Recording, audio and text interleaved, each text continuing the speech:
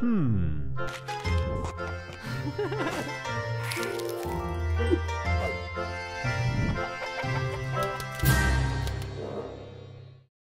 sourire ne coûte rien. Elle produit beaucoup.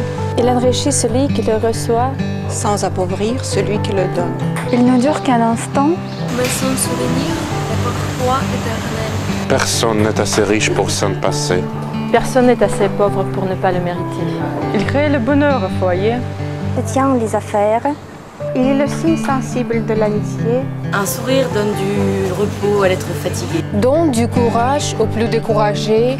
Il ne peut ni s'acheter, ni se prêter, ni se voler. Car c'est une chose qui n'a de valeur qu'à partir du moment où il se donne.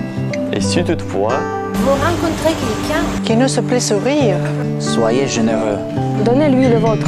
Car nul n'a autant besoin d'un sourire que celui qui ne peut en donner aux autres.